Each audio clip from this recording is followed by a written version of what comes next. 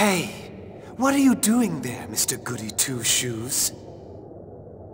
So you're still alive, you worthless failure. Why do you interfere now?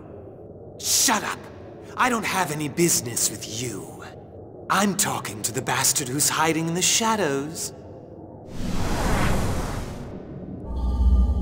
You want to please our dear old dad that much? You've always been that way. You're wasting your time. He can't hear you. Really? He sure seems to be hearing me. Ah! What? What?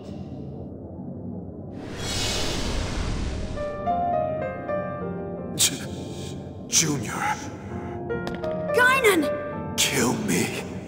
Hurry. Right now. While I have my will. It's possible. Hurry! How can you say that? I could never! My, my. You're still a softy. You won't save anyone like that. It's what he wants. Hurry up and do it! You have the power! I can't! Sure you can. You killed me. It's the same thing. It should be easy for you. No, I... Then want me to do it?